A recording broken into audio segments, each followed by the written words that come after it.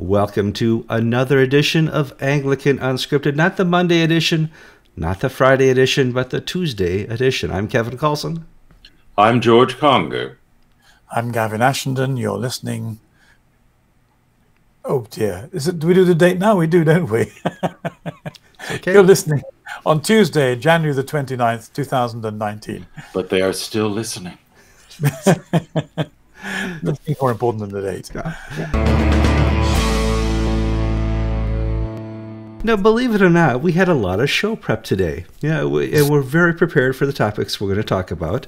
But before we get to those, we're going to talk about uh, what I call viewer participation, listener participation. And that's where you like the show, you share the show, you comment on the show. If you had not subscribed to the show, be sure to go to YouTube and subscribe to the show. And if you want to not just look at our old geezer faces, you can listen to the show on a podcast. That information is in the show notes. Gentlemen, I see Gavin has rosy cheeks. Tomorrow, George is going to have rosy cheeks. The weather is a changing. It's going to be 60 below today, uh, wind chill in Chicago. What's going on over there in England, Gavin? well, I've, I've just come back from spending a week uh, talking at a conference in Greece where uh, uh, all the Greeks were going around in coats and hooded uh, fur-lined hoods, and I was happily enjoying myself in shirt sleeves, and I was very warm and comfortable there. So I've come back to a lot of snow and cold, and I think that's why my it, it's that rather than the pre-lunch sherry that's given me rosy. Right. no, we always and have a, a pre-show drink. and if we had if we had our friend David Ould on, he could show us pictures of the asphalt melting in Australia. They're in the midst of an unprecedented heat wave in New South Wales. Mm. All right. Well, the first news we should talk about is the Asia Bibi update. We talked to you in October when she won the Supreme Court case allowing her to leave Pakistan. There was an appeal by the Islamic State saying no, she can't leave. Today, she finally won that appeal and she's allowed to join her children in Canada. Um, however, is she going to make it to the airport? Is the big question. Uh, she's got a lot going against her, George. The government of Imran Khan, the Prime Premier of Pakistan, is, doesn't necessarily follow the rulings of the courts. It does what it's in its political interests. Uh, the hardline Islamic groups who Khan relied upon to be elected have called for the reinstatement of the death penalty, and that was their appeal. That uh, Asia Bibi's case should be heard not by Pakistani civil law, but by Sharia law. And under Sharia law, she should be executed for blasphemy against uh, the Prophet of Islam, Muhammad.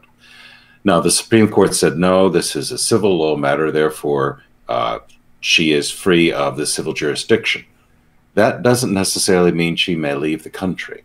It just means that she is no longer under the civil penalty of imminent death. And the question is, can she get out alive? Will the doc will the state allow her to get out? And does a poor woman really want to go to Canada of all places? It's 40 below. Yeah, I, I see your point.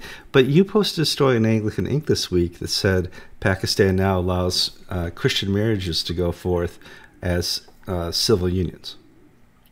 Yes and no. Not civil unions. Uh, under the Raj, the British Empire, Muslim marriages were legal, Christian marriages were legal, Hindu marriages were legal, Sikh mm-hmm. marriages were legal. Mm-hmm. Religious ceremonies were recorded by the state as having legal force.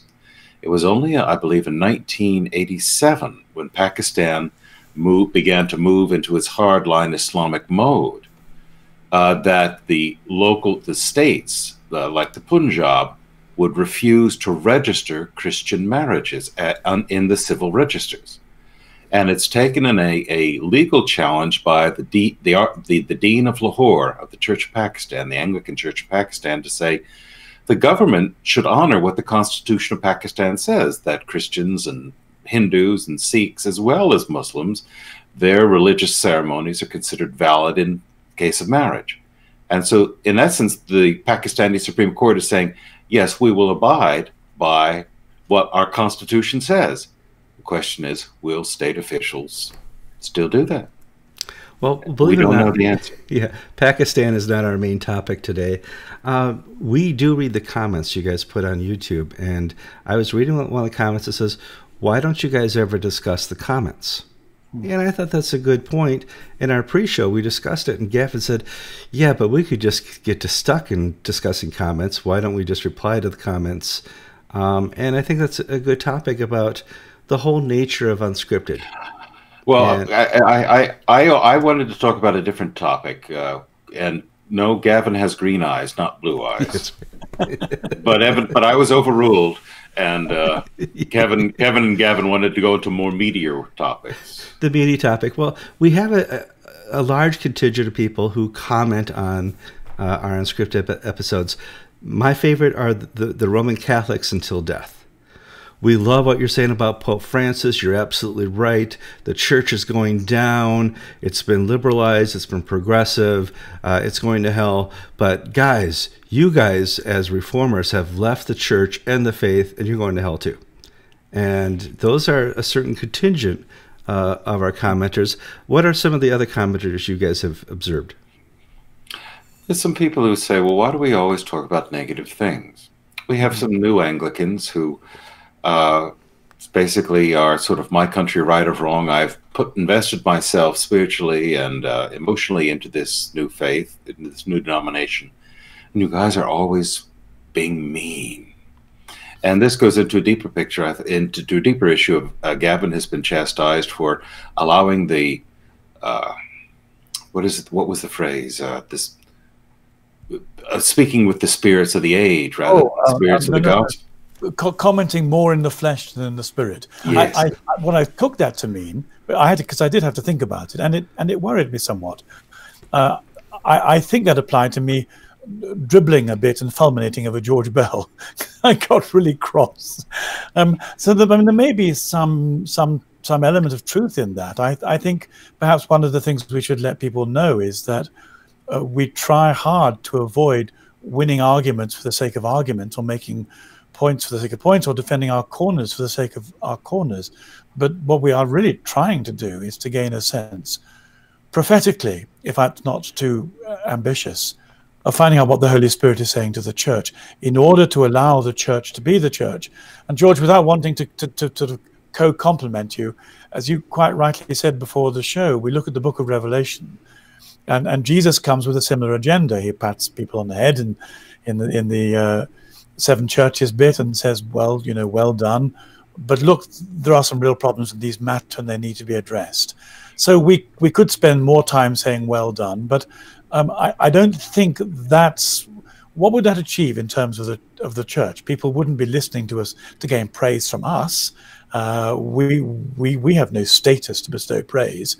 But on the other hand, if the ship is sinking, uh, if there's if the if the church needs reforming and renewing, uh, if, if it needs reformatting, then we might be able to be of help by saying, look, this is where it's going really badly wrong, and this is what might be done about it. So, although it sounds quite negative, I think it's no more negative than a surgeon trying to excise a cancer. It might look dramatic, but the purpose is to bring life. Well, I, let me expand on what Gavin said, and that you know I, I mentioned uh, that passage in Revelations where uh, the Spirit speaks to the church in Thyatira, where attendance is up, income is up. You guys are doing a great job. You're nice to each other. Oh, but by the way, you're allowing Jezebel to teach and be amongst you, and she's practicing sexual immorality. Mm. Friends, if there's not a greater analogy, perhaps Laodicea, to the Anglican world right now, which is neither warm nor hot, hot nor cold, I don't know what is. We are a church of Thyatira, where mm. some of us are doing quite well. Some portions are teaching the gospel, preaching the gospel, but Christ uh, reprimands them nonetheless for allowing them for for their tolerating the immorality and false teaching amongst them. And I think what we need to let people understand is that we have a straight news outlet, which is Anglican Ink. Uh, unless you want to give us the money so that we can become an Anglican EWTN, where we have our own news broadcast, Anglican Unscripted is a chat show where we share our views and opinions about the news. Yeah. So those things that we bring forward are things that we can talk about. uh, in other words, before the show, I was saying, Kevin, do we really need to talk about ASIA-B because it's not really something that not none of the three of us, I think, are going to propound that she should be executed. That you know, the Islamic hardliners were right. So, what do we have to add to this debate? Kevin's point was, oh, we've raised it before. We it's what? a follow up to the the information we were given before. Um, and you know, sometimes we have shows where we do updates to stories we've done before, and I think you know Asia or Aziza, however you want to pronounce her name, was an important update because today the Supreme Court said under no, you know, she is a free person. She's been uh, exonerated of charges. She is free, but that doesn't mean very much in Pakistan. And I, I think George followed up on that story really well. And the other area that we don't go into, in other words, for instance, do you remember at George uh, Herbert Walker Bush's funeral, there was a big furore that Donald Trump did not recite the uh, creed when the other presidents did in the front row. And there was a fury in the press for a few days that that means Donald Trump is not a Christian, he's a hypocrite, or this or that. We did not jump into that story, either condemning or supporting Donald Trump, because that's outside of our brief. We don't do domestic politics. We focus on the life of the. We focus on politics when it's within the life of the church and mm-hmm. politics. I mean, and sadly, George Bell is a political church story. Mm-hmm. What Gavin has shared over the mess, how many years now has this been going on? But what Gavin has shared is that George Bell is a fig leaf for the church needing to be seen to be doing something about the dreadful abuse scandal. And the cheapest, easiest win win situation solution was let's sacrifice a bishop dead for 70 years rather than address the I word scandal. What did Justin Welby know? When did he know it? How was it that the Archbishop of York happened to lose all these files about this pedophile priest uh, in under his jurisdiction? Oh, there was a flood that year. A flood. And now, so, what do we have instead from the Church of England? We have let's pile on the dead bishop. This is a great point for a transition. We have talked at least three or four times the last couple months about culture the culture of Nigeria, the culture of China, the culture of uh, different countries around the world in, in their response to Christianity. And in our pre show, we've been talking about the Church of England and the culture within that, uh, in there. And what I discovered in listening to Gavin and listening to George is in a large proportion of the church, nobody cares about the Anglican Communion. Nobody cares what goes on beyond their parish certainly not their diocese, and certainly not the International Anglican Communion. I was speaking, uh, I don't want to give away who it was, but to a person of the Executive Council of the ACNA. And he said Archbishop Foley went over to do his UK GAFCON tour uh, recently to the UK, and he discovered that nobody knew about the ACNA, nobody knew about GAFCON, and certainly nobody knew about GAFCON UK in some of the churches he went to. He had to give the whole story again about GAFCON, the whole story again about the ACNA, because they are so isolated. And Gavin had a good explanation, and one of those was, well, they don't care. Uh, well, can you follow? Why, I, well, ahead, well before we go there, I think we need to say why this is so important. And I think we need, before we get to the cultural answer, I think we need to lay this against an actual incident to show why this matters. And I think, Gavin, if you would first speak on the what I would call the Ian Paul letter, oh, sure. uh, challenging the Bishop House of Bishops' advice on transgender baptism, and then why the Kevin's observation that nobody cares about GAFCON UK is so frightening. Um, I think a lot of people may not understand outside England uh, that, that Anglicanism in England and Anglicanism outside England are really rather different things. Um, in fact, I think there are many people in the Church of England who don't even know that there are Anglicans outside England. I don't. That may sound a bit odd, but uh, never in any of my time in parish life or on deanery synods or diocesan synods and only occasionally on General Synod did anyone ever pay attention to the Anglican Communion, except when the Archbishop of Canterbury made a fuss about Lambeth Palace and there were some political issues involved. Because paradoxically, the Church of England is a congregationalist outfit. There are small communities with a church in the middle, and the vicar just gets on with doing uh, either religion or Christianity, depending on what flavor they are.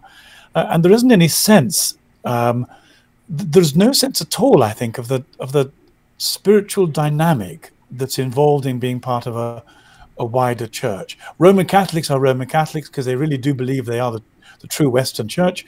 Baptists are Baptists because they don't get the sacramentalism and they, they, they love the New Testament and they just want to apply it in a fairly straightforward um, way.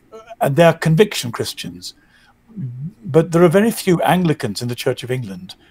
Very few is not the right word.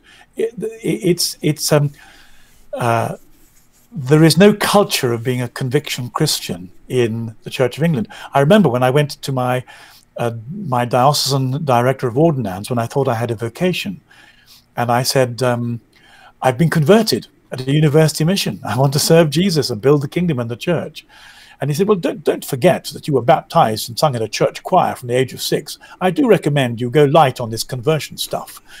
and, uh, you'll put people off wanting to make you a priest in the Church of England. Well, so, that, that, that is, that's not entirely confined to England. Uh, one of our viewers nominated me to be bishop of a diocese of the Episcopal Church out west. And I thought, well, why not? And uh, I went through the initial process and I talked to the first committee, and what they came away with was, well, you're not, you're a little too Christian uh, to be a bishop of the Episcopal Church. In other words, exactly this issue of conviction. They wanted an administrator, they wanted somebody who wouldn't upset other people, who would go along to get along, and I was a little too, I believed a little too much, and I took it too seriously. So we have that too in the Episcopal Church. Well, well I'm sure it's wider than, than England, but it's particularly pronounced in England. And as a result, people don't really much care about what's beyond their parish. But but if we move to what the what that means now, in a sense, again, it's not unlike um, being English in the 1930s when trouble was brewing in Europe with with with fascism and Nazism. Uh, if if things were working in the local pub, why would you care on this island? where we don't have to care very much. But what's going on now is that is that Ian Paul has just released a, a letter where there are over 2,000 signatures to the House of Bishops saying, "We think you've handled baptism wrong. We think you've handled the issue of transgenderism badly, and we'd like you to think again." Now, in one sense, this is very exciting and and uh, a show of conviction Christianity. the problem is that and, and Ian, Ian knows this better than anybody else. The letter comes with no sanctions. So if the House of Bishops decides it's not going to do anything, or if the reality is, which is that the General Synod power uh, structure is in the hands of progressives, they will continue to mandate the House of Bishops to go on doing progressive, uh, unethical, unchristian things and and nobody can stop them. And just writing a letter with two thousand signatures isn't going to make any difference. So there will come a point where I think the 2,000 signatories say, uh, we are now so uncomfortable in the Church of England we want to do more than write a letter. And at that point, they really won't know what to do. But Gavin, let uh, let me push push tiny bit pushback because I actually agree with where you're going, but I think our viewers need to have a, a, a better sense. So you are you advising Ian Paul and company not to have even bothered? I mean, isn't it no. good that there's an attempt to state the eternal ver- verities of the faith? Shouldn't we celebrate that work? I'm a great fan of Ian Paul. I think he, he brings so much to the table, including the passion of conviction Christianity, though he and I uh, diverge over some, some, some issues, which is always fun. No, I think it's wonderful he's done it. But I'm afraid I think that Ian and many others, um, they're, they're, like, they're like I was, they, they, they're doing church politics like I played chess when I was nine. I remember my father trying to get me to think, boy, you need to go two moves ahead, or three, or four, or five. And I had quite a lot of trouble not just responding to the move that was ahead of me um, as, as a nine year old chess player. I, I, don't think they've thought through what's going to happen.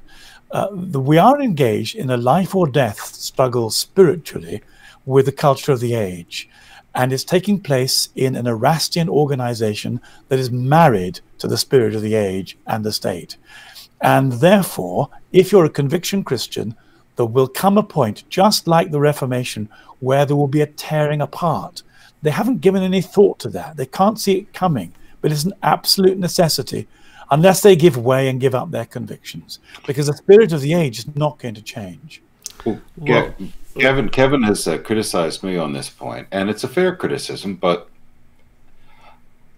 in the Episcopal Church, we had that moment of, yeah. you know, but in Florida, we've not had that moment. We've not had our, we've not, the spirit of the age hasn't made its way down to the forests and swamps down here.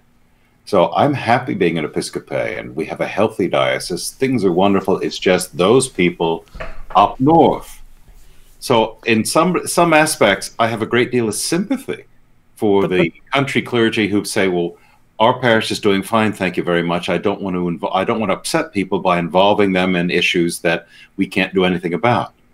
So I mean, I'm, I'm, open to that criticism, but I understand it well.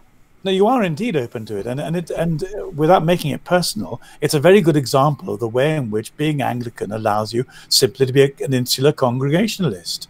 Um, it, the, both the Baptists and the Catholics have a better sense of what it is to be church. The Catholics do it because they understand church, and the Baptists do it because they understand the kingdom. Anglicans have a propensity, when push comes to shove, to lower their heads and say, "If my community is okay, I'm not worried. It's it's fine." But and and and in one sense, you can see why you don't need to involve the, the, little old ladies as prayer warriors in the cosmic conflict. But at another stage, well, you do. Well, let's. Well, I, in, I, I want to. In, in, a tiny bit of defense, uh, the what we've done, what we're doing, is no different than what our forebears did in uh, the Episcopal Church during the Civil War. The Baptist split, the Methodist split, the Presbyterian split. Everybody split. What did the Episcopal Church do? Waited till the war was over to decide this moral issue. So we, during the Civil War, we had a we had Episcopalians on both sides, very famous, very prominent. We decided not to decide. And I have to be perfectly frank that there is a temptation uh, when we're talking about institutional things, which frankly I'm not that interested in, not to decide and focus on the immediate spiritual things in front of me.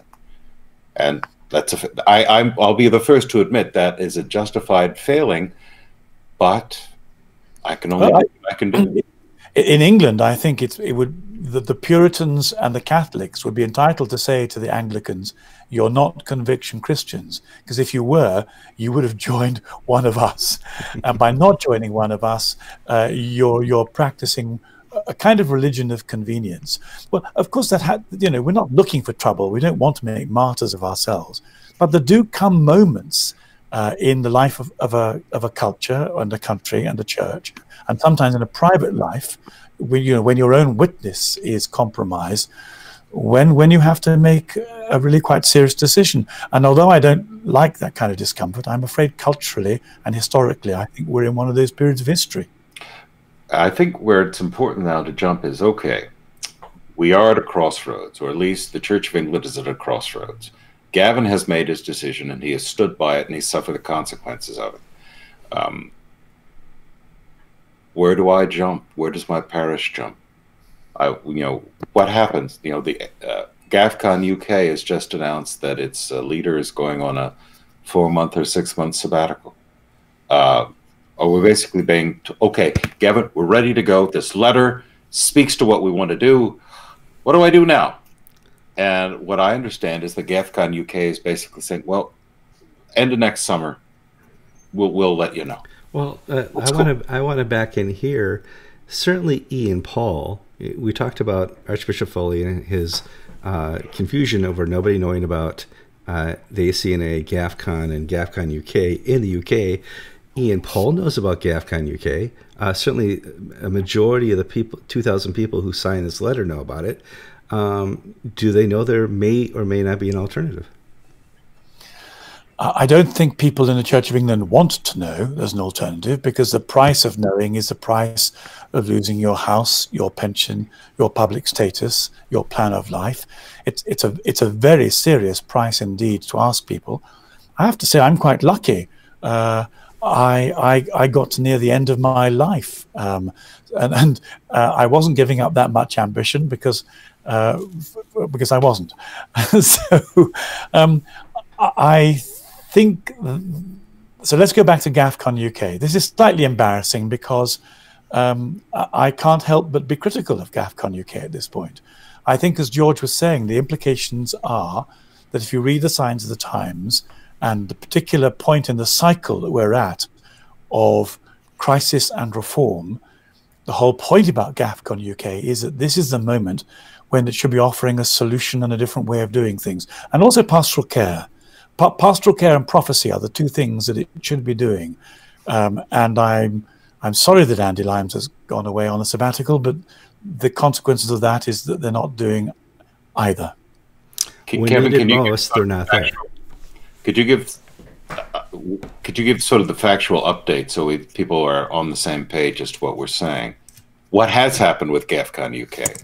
Well, I'll, I'll do it then. Yeah. Uh, uh, well, get to George. If you could tell them quickly what Andy Lines. We got a letter last week. Give it. Give an update on that. Two things have happened. One, GAFCON UK, when it was formed, put together as a panel of reference or advisors. Gavin, what was it called? Uh, uh, yes, it was a pa panel of reference. I, I, was on it. Yeah. They put together a panel of reference of uh, Anglo Catholics, evangelicals, leaders in the in the movement to reform and renew the Church of England to bring it out of its Thyatira-like state. Uh, last week, this panel was resolved basically dissolved, a letter was sent by Andy Lines, the head of GAFCON UK, Bishop Lines, saying, uh, Lines, that uh, we don't need you anymore. Uh, time has come where I can take full charge. Then the following few days, a letter was released by Andy Lines saying, um, I'm going to be taking a long term leave of absence and uh, will be in Australia for a few months. And I followed up with a letter to the ACNA uh, office because GAF- ACNA and GAFCON basically been overseeing GAFCON UK, and their response was, well, Andy Lines will be out, but we have uh, three people, uh, Susie Leafe, Michael Nazir-Ali, and Andrew Symes, answering the phones while he's gone. Ah, we have West Hill Community Church in, is it Aberdeen, I think it is, and the Scottish Episcopal Church is crumbling as we speak. People are ready to jump. Come back in six months. Uh, is that well, what said? There's a parish on the Isle of Wight that has just woken up to the fact uh, that its archdeacon has his live-in lover or his husband, I forget which it is, uh, moving onto the island. Uh, they, they, they might have known before because he's a canon of of the where Portsmouth Cathedral and a member of General Synod, but but they didn't know. We're, we're back to the insularism that's part of our church. Now, anyway, now he's been appointed as Archdeacon of the Isle of Wight. They're outraged and they're deeply upset and they're spiritually perturbed and they're asking questions saying, We don't think we can go on as we are. What do we do? Where do we go?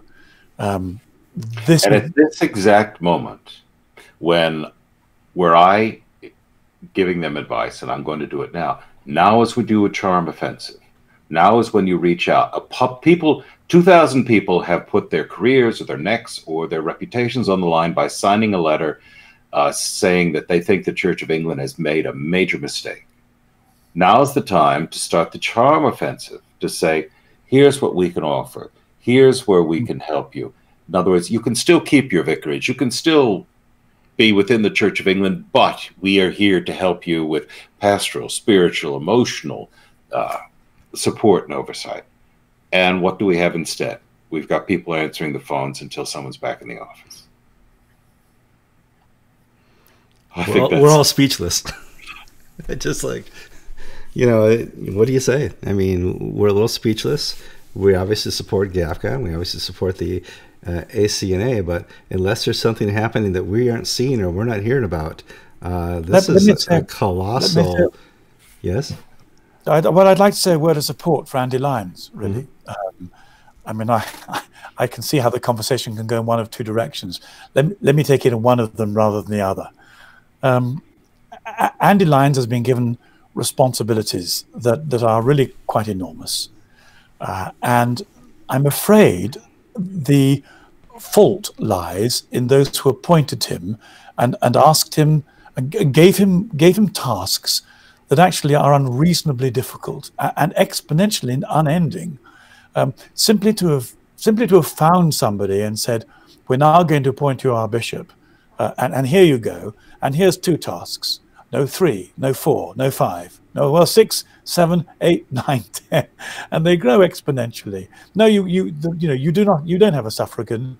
There isn't a, a, a, a, team taking responsibility for you, caring for you, looking after you. Um, uh, uh, uh, I mean, I partly feel this because at one stage I was headhunted to uh, to be considered to, to run the House of Bishops for the Church of England. And so, how you take care of bishops was something I'd given a lot of thought to. Uh, and I felt very sorry for Andy that he was plucked out and given this role, it seems to me, without any proper thinking of it through.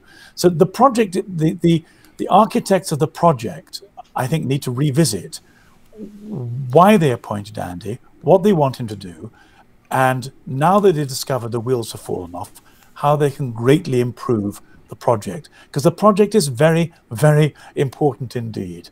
When when the fabric tears, uh, when the 2,000 letter writers discover that they are uh, engaged in a church that is not going to pay any attention in any real sense to their desire to be Orthodox Christians, some people are going to have to make a decision. And the whole point of GAFCON is to provide a conviction Anglicanism that those who put their discipleship to Jesus beyond their cultural religious instincts can make a choice.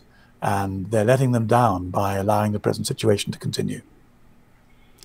I remember a conversation I had with Gerald Bray. And this, this was my wake up moment. Uh, I was doing an interview and he was confused about my excitement for Anglicanism. He goes, You know, Kevin, in the Church of England, the average citizen thinks not of the Anglican Church as something great and glorious. It's the public library.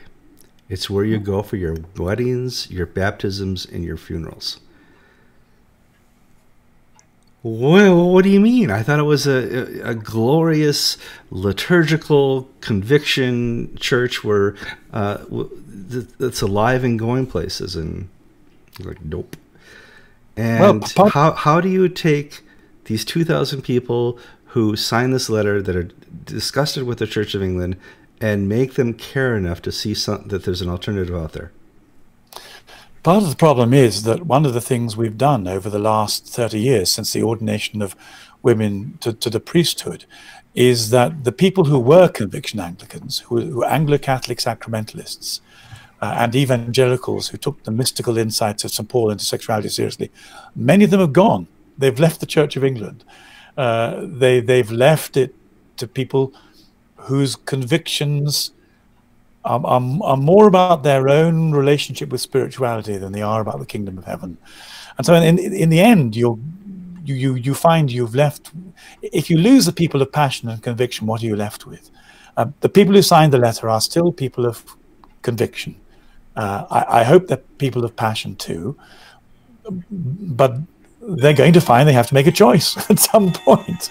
Well, just just to push back a bit, uh, I think that the hurdle that uh, GAFCON UK and the ACNA has to overcome is why don't people like me immediately sign up? Well, because I, in essence, have left the General Convention Episcopal Church.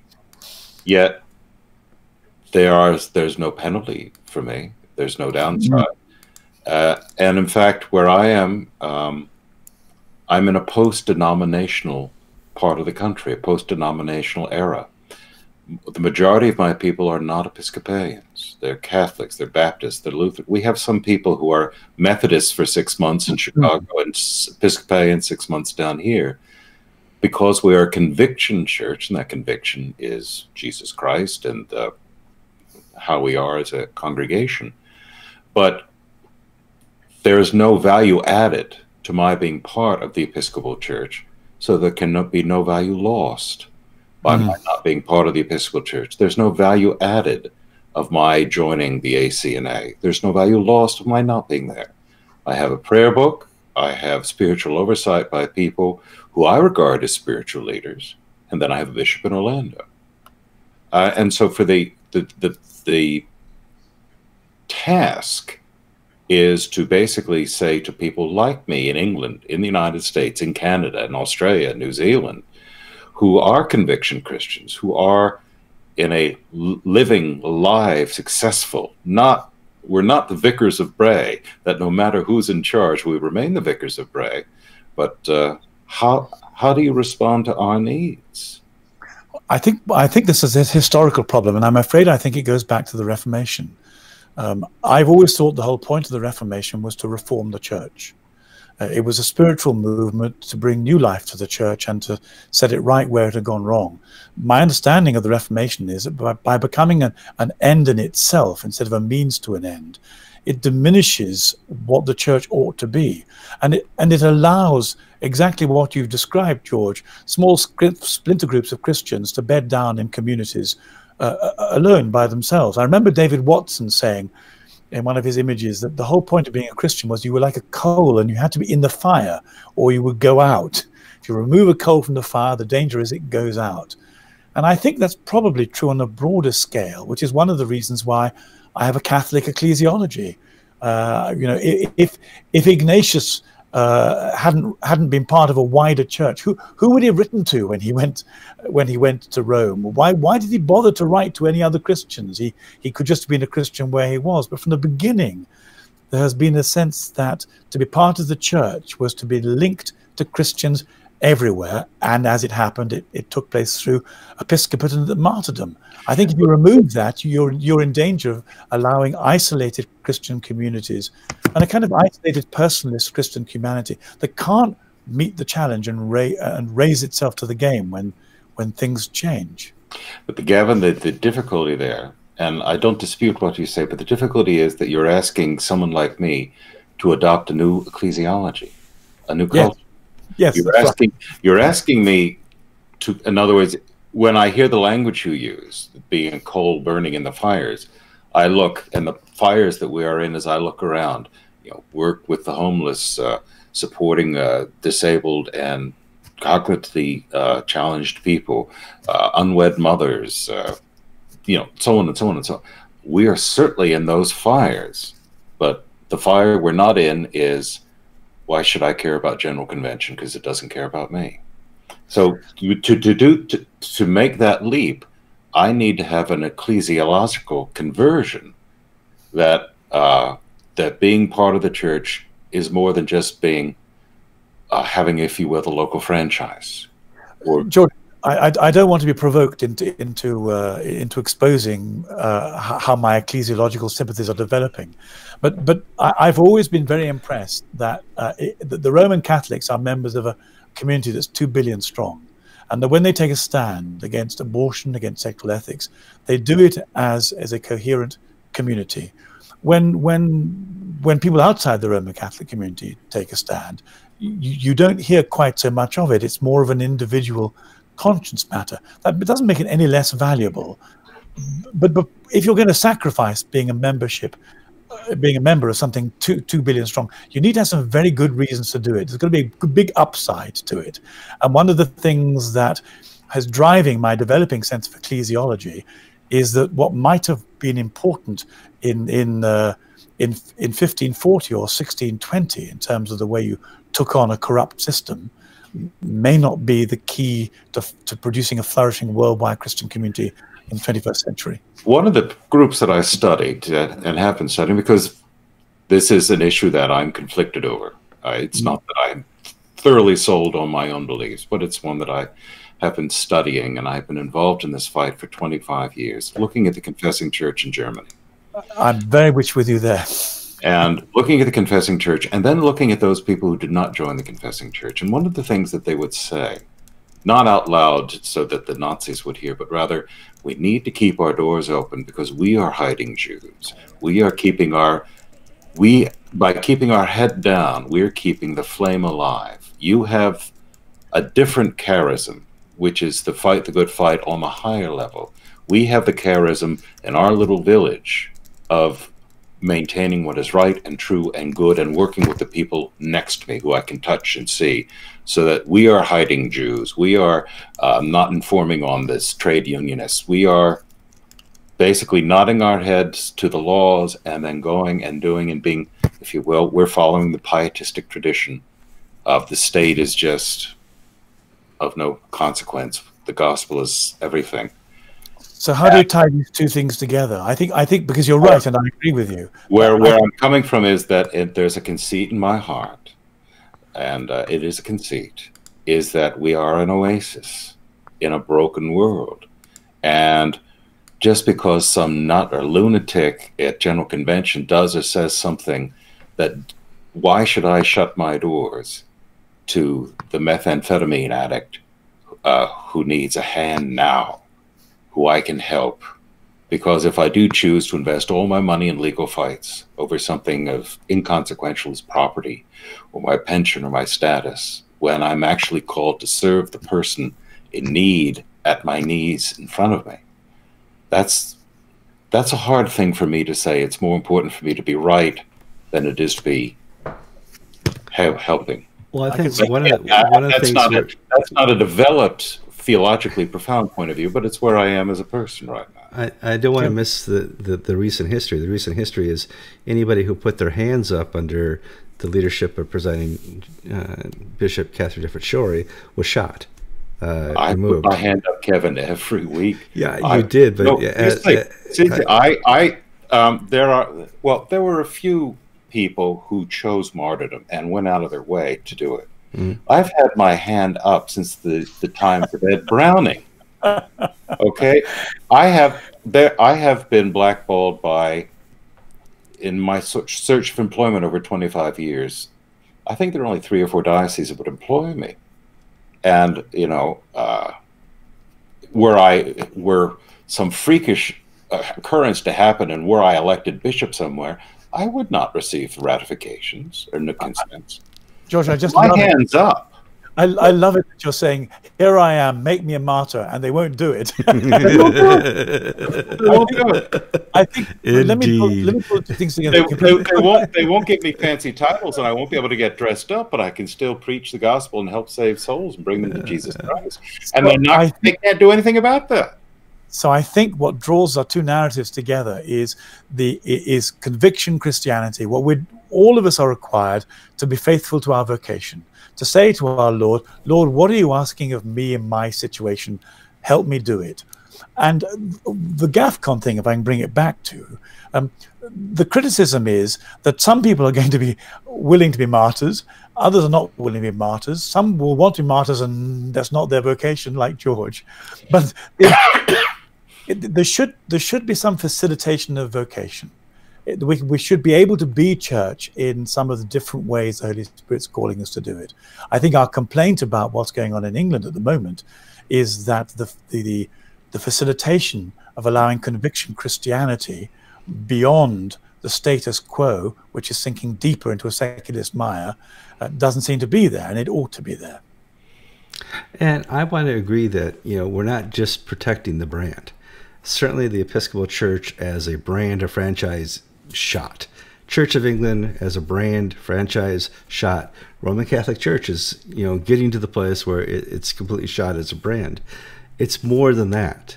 It's you, it, it is the working of a communion, working with you know all that it comes with the liturgy, um, the saints, the history, the tradition, um, and the community, the communion.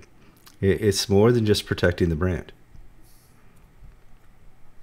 All right, we've hit about 45 yeah, minutes. No, no, just to be, what? Kevin, if I were interested in the brand, I would have I would have stayed on Wall Street. Uh, why? I mean, I would have chosen. A, well, that's why I'm what, saying that this what, is what is, this is, is more than protecting in, the brand. Yeah, but what is happening in the world today is that the brands are meaningless. Meaningless. Um, i I think that uh, Pope uh, Benedict is one of the greatest spiritual thinkers of my lifetime, and I looked to him, looked to him for on issues that were of moral and spiritual and emotional, physical concern. He's a Catholic. He's a very Catholic Catholic. My goodness, why would I, you know, how can I beat up Justin Welby for saying it's fine to be a Catholic when I think Cardinal, you know, Joseph Ratzinger is one of the great men of the 21st century? Because you think it for different reasons, George. You, you think it because you've thought it through and you know what your value system is. Justin Welby hasn't thought it through and doesn't have a value system. That's the difference. The fact that you end up by saying the same thing uh, doesn't make them of equivalent value. But I say it in English. He says it in German. But yes. uh, let me go I back. feel his idea is no one will know. I want to go back to Benedict because I think this is really important. Um, one of the things that Benedict has said, and, and no one asks why he said it, is that he sees a Christianity and a Roman Catholicism uh, in, uh, around the world that is very much diminished, going back to core groups. Now, one of the ways in which Christianity survived some persecutions is through the kind of ecclesial structure that Catholicism embodies, and and and, and for one and a half thousand years was the only way of being the Orthodox Christian Church. My concern uh, is that if we're going to find ourselves in a situation where we are involved in a car crash with a with an aggressive secular culture that hates Christianity, um, it's important that the coal stays part of the fire. That you that kind of ecclesiology works, and one of the reasons why I'm more and more attracted to it. Uh, and Anglicanism has it; it contains it. That, that it, it's it's what we are. We have a Catholic ecclesiology. Uh, it's it, which which you know the early centuries, the marks of the church were the the resurrection, the Eucharist, the bishop witnessing a martyrdom. That was what made the church. But you had to be tied together. Uh, and I, I don't. I think being isolated pockets of Christians outside that structure is going to be counterproductive if we find ourselves involved in a very serious struggle with with the powers as they come against us. That's one of the reasons why uh, I, I too am a favor, a fan of Benedict, and I think we should listen to what he says as both Pope Benedict and the Benedict option warn us that we're entering a fresh stage of, of, of Christianity. Uh, I want to continue this point because I think it is very, it's vital. Uh, I'll put it this way. Uh, this past weekend, I went up to Philadelphia to bury Susan's stepfather. And Susan's, uh, my wife, uh, is still up there, but I had flew up Friday night, came back Saturday night because of my services. And and I wore my collar on the flight because I didn't change from work or change after the funeral. And sitting in the waiting lounge of the Philadelphia airport, a number of people came up to me and said, Father, are you a priest? And I said, Yes, but I'm an Episcopal priest. And they sat down anyway. And they spoke to me about a stranger uh, doing his very best to be not noticed because he was exhausted, but people coming forward with deep non-denominational issues. Yeah. But a burning desire. Some kid with more metal in his nose and eyebrows than I have on the on the hood of my car, wanting to talk about the profound things of life. Is li- is God real? Is life real? Why is there pain in this world? An older man saying, "Should I still be a Catholic with all this abuse stuff?" And people, there's such a hunger that is not met by this spiritual, secular, material Marxist world that only Christ can provide. That if we, as I say, Gavin, go up into the mountains and hide away and wait for it to all blow over, we're not doing our jobs. I, I agree. I agree entirely. And the bell is tolling, Gavin. Who is the bell tolling for?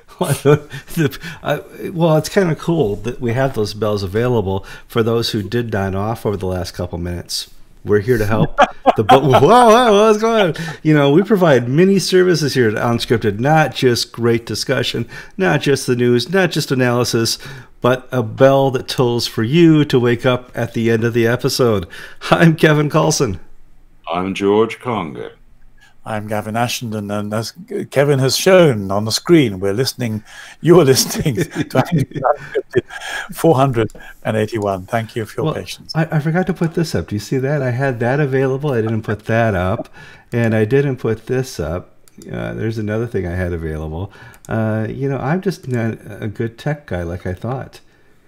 Uh, that's you're the theologians. I'm I'm clearly just the sex symbol oh, for the I'm show. Not, I'm not a theologian. I'm not a sex symbol. I make we, are, we are the body of Christ. We all need each other and each other's gifts. Amen. God bless, guys.